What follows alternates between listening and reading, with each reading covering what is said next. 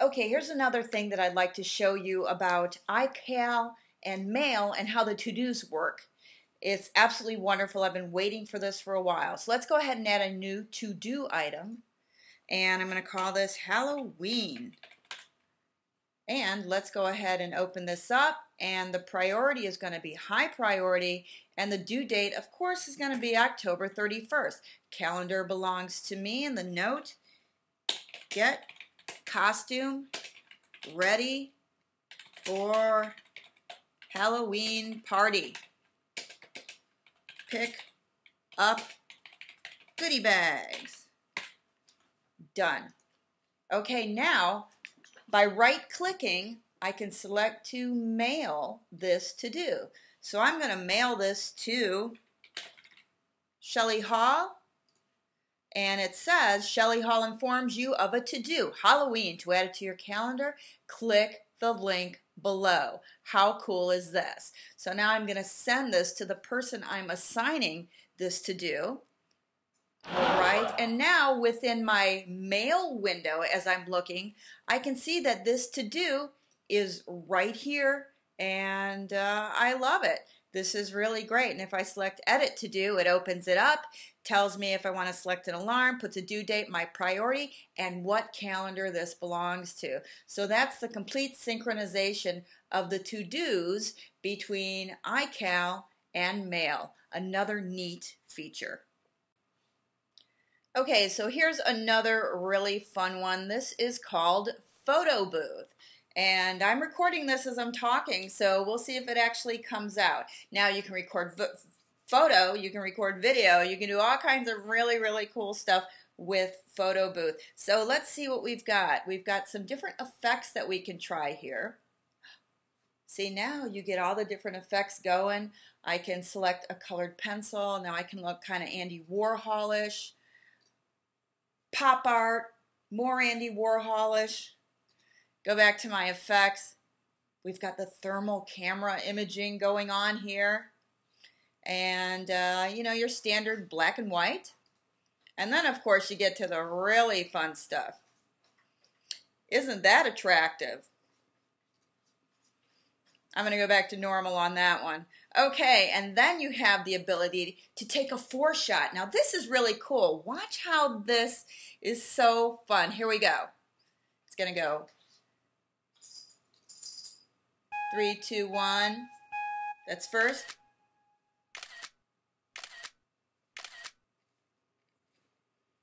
And there we are. I've got a four pack shot there. Look how fun is that? Very, very cool. Okay, and now we also have video effects that we can add. And here's the video panel. Now this may slow down just a little when we're trying to do this, but here's the neat thing. If I go into effects, I actually have the ability to select one of these very, very cool backgrounds.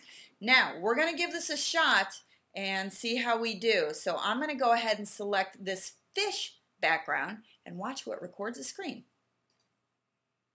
Step out of the frame.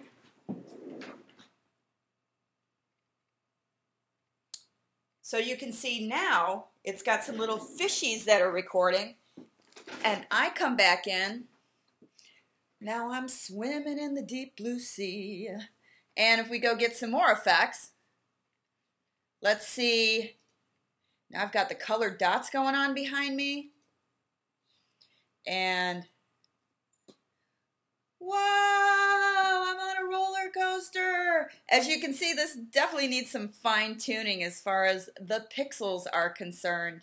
So let's go back to effects here and let's do one more. Let's look at Yosemite. So you can see, yeah, there it is. The water rushing down the hills. Very cool. So let's go back to our plain old video here, our plain old picture, and we go back to effects, and once again, we can choose any of these for backdrops. So fun stuff. And that's some of the very cool stuff that you can do with Photo Booth. So go ahead and have fun with that. Okay, so the last thing that I wanted to show you in Leopard is iChat. Now here's where you can really have some fun. As you can see, I have my window here. This is what's I'm projecting, and this is what my great old Uncle Stanley is projecting. Yes, this is Stanley, and I'd like to say Happy Halloween. As you can see, he's a very personable old guy, and I do get some of my jeans from him, but it is Halloween after all, so we have to get in the mood. Anyway, back to our iChat. So with iChat, you have the ability to do some cool new things, include recording the video chat. You can share your documents so that other people that are invited into your chat can actually see documents that you want to share. So let's take a look at how this works, and then we're going to go ahead and create a very fun background to share. So to be able to share your document, I'm going to select Share a File with iChat Theater. So I'm going to go select my file, and uh, let's go to my, let's go pick a cool photo, and, oh, I have a photo from the Grand Canyon. So let me go ahead and share this. Wow, now look at this. The viewer this is what they're seeing is my actual Grand Canyon photo. So their desktop now looks like this, what they're seeing in the camera. And to close it out, I simply close out the window and I come back. So it's cool if you're doing presentations or you have some documents that you need to share. Very, very cool stuff. Another way to do that is just go onto your desktop which is really cool. You don't have to go searching through your Finder. I'm going to go to my new little downloads folder and I have a file in there. I'm just going to grab it and look at this. I can send this to the other person I'm talking to or I can share it with iChat Theater. So I'm going to choose to share this. And this is the flyer for Real World QuarkXPress, where I'm one of the guest authors. So I wanted to share this little flyer with you. Little plug for myself, you know. So, Uncle Stanley, what do you think about that? I really like the new effects. so that is iChat, and uh, very cool stuff brought to you from Apple. I'm going to go close out this window. Now, the last thing I'm going to do is give to you my recommendations here for the new Leopard. Number one, install it on a secondary computer. I've lost some very important functionality because maybe the updates aren't there, uh, Firewire, users beware. You may lose connectivity for some issues. I lost it for my video camera, which is not good. Thank goodness I do have a second laptop. There were some email and network connectivity issues. However, Apple has already released a patch that helps with network. So go ahead and do your software update and get that downloaded. Lots of automator features are broken, and this comes from an inside source. And also, many third party Photoshop actions do not work. So, user beware. And my Epson 850NE can't get it on the network no matter what I try to do. So, there's some other printers and other folks that are having issues with getting their printers online too. Good stuff. It's fast. It's really fast. InDesign opened like that. So much faster.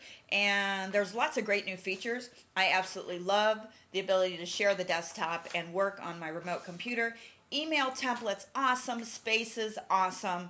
I really love stacks. Some people may or may not find it useful. I dig it. So those are my recommendations. And this is Shellie Hall with Get Creative, bringing you a look at OS 10 Leopard. And uh, this is the third of three parts because there was just so much cool information to show. And I'll see you next week with the creative news for the week of November 5th. Happy Halloween, and uh, we'll talk to you soon. Take care.